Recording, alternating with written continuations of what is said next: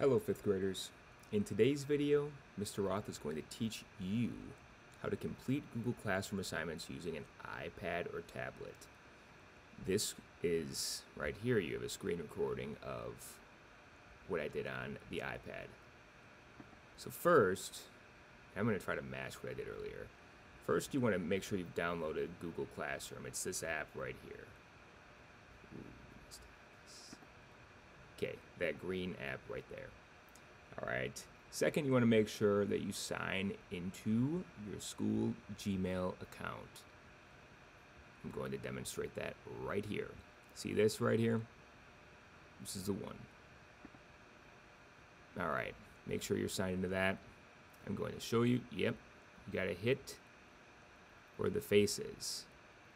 And you can add another account right there. That's where I pressed. Sweet. See how I have mine right there already? Yeah, you want to make sure you pop up like that.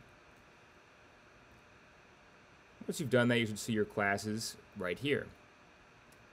For today's video, I'm going to go to Droll Practice because I'm going to view this from the student's perspective. Look, there's a new assignment PDF demo. I'm going to click this assignment because clearly it's something I need to complete. Okay. You can find it in classwork or you can find it on the stream. Oh, so I had to hit, hang on, slow down there. I had to hit your work. So you click that assignment here, then you click your work, that arrow, and that's how you get to this PDF. And there's like an add attachment and turn in. You click on that PDF, and suddenly you're here. You want to hit this to edit it, to be able to draw on it, to be able to write on it. For math, this could be huge if you have a PDF, whoa, coming at you. You can zoom in, you can write. See how you have this icon here? You can write on the PDF just like that.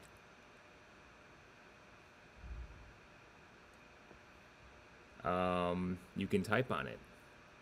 You can do all sorts of things with this if you use this bottom icon here. Whoa. So clearly I just press and I hit the text. And I'm trying to say yes, subscribe. You should subscribe to the channel if you have not already because this is just so informative, this content. Okay. And here I demonstrate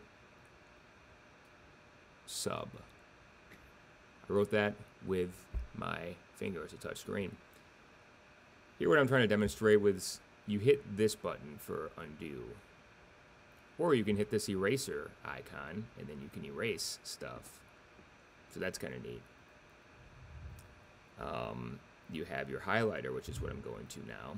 And you can highlight subscribe or whatever it is you're working on. However you want to mark your work, it's kind of up to you.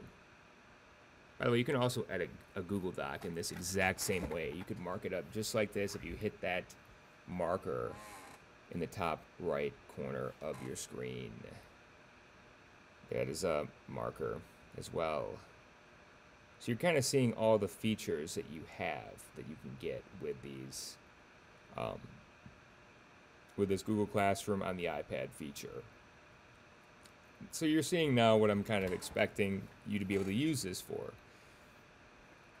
This is especially important for remote learners. Well, it's kind of explicitly for you. I recommend using this, and you can zoom way in with your fingers, and then you can back up, and it's not taking up a ton of space. If you don't zoom in and try to write, you're going to run out of space. Just a, just a heads up on that. When you're done, you have to press save. Otherwise, you will lose your work. It's right here. Press save. And I wrote notes down for this, so here we go. When you finish, do not forget to press save. Okay. If you don't press save, none of your work is, is going to be saved. Wow, that's really difficult to figure out. It's going to create a new attachment that the teacher can see in most cases, at least from my perspective. It might look the same from you, but hey, look, there it is. It's saved. I don't mind if you have multiple attachments to a Google Classroom post. Don't mind that at all. Um, I'd rather have that than a student who is really, really frustrated because they did a bunch of problems, they worked them out, and then everything just gets erased. So this is definitely something that you need to do. I really strongly recommend that you save frequently even if it's more than once. It's fine. When you finish the assignment, be sure to turn in your work. Whoa. Now I'm just caught up talking. Turn in. Hit that button. Yep. That way, the teacher's going to know it's done. All right.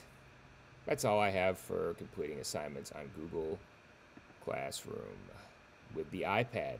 If you have any questions about what I covered in the video, be sure to email me at mroth1 at ecsdfl.us.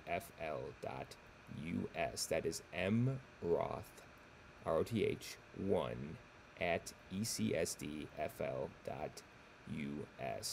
Mr. Roth is